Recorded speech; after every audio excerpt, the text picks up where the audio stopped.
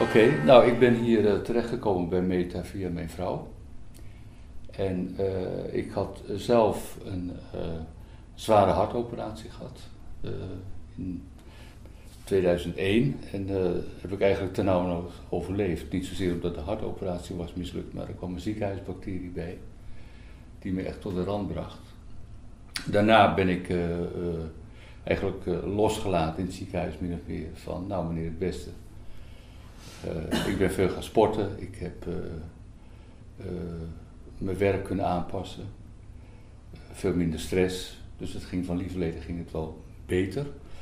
Maar eigenlijk een behoorlijk energieniveau kon ik niet meer bereiken. En ik bleef toch, bleef toch ook, ja, vooral met de energie bleef ik klachten houden. En met gevoeligheid voor stress die eigenlijk groter was geworden in plaats van kleiner.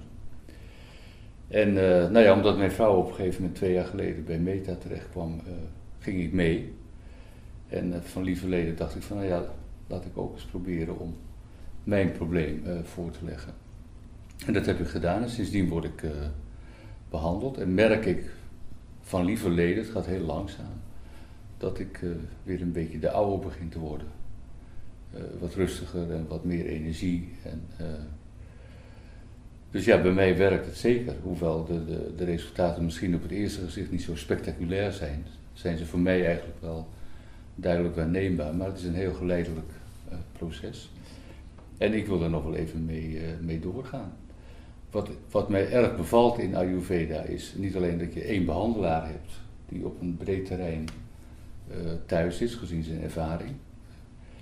Maar dat er ook heel duidelijk oog is voor ja, je bent een mens die een gevoel, verstand, uh, een lichaam heeft. En dat je niet gereduceerd wordt tot een of ander chemisch fabriekje waar je af en toe een medicijn in stopt omdat je een klacht hebt.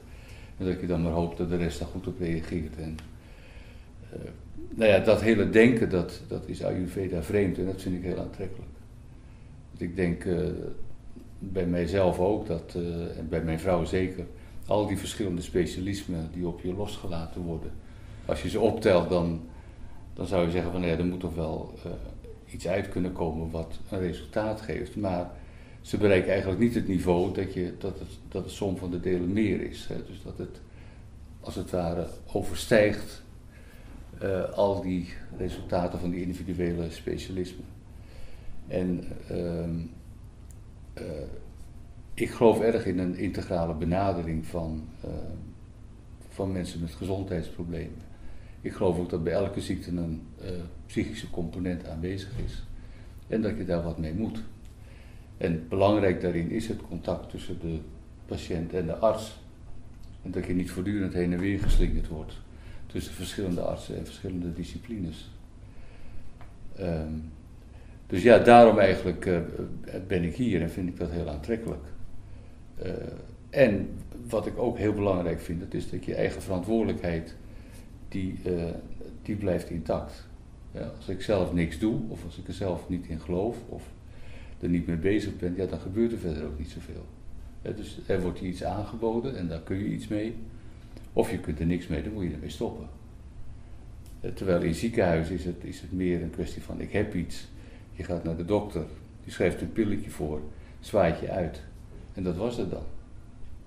Dus dit is completer en ik geloof ook in deze tijd veel belangrijker, omdat, uh, nou ja, omdat heel veel mensen gewoon te maken hebben met behalve lichamelijke klachten, ook met psychische klachten en dat dat elkaar voortdurend beïnvloedt. Dus een wat integralere benadering die ik in de Ayurveda vind, ja, die spreekt mij erg aan en uh, vind ik heel interessant. Voor mijzelf en ook voor anderen zou ik zeggen.